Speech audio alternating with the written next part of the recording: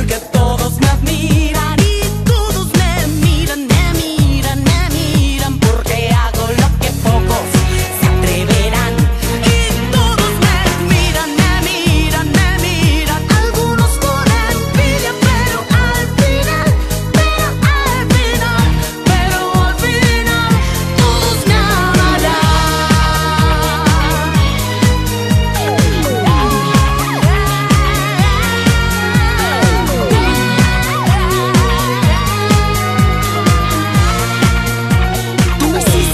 sentir que no valía.